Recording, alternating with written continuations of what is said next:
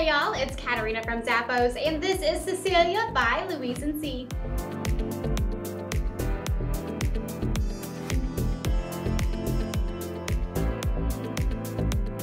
These shoes have a leather upper with a leather inner lining.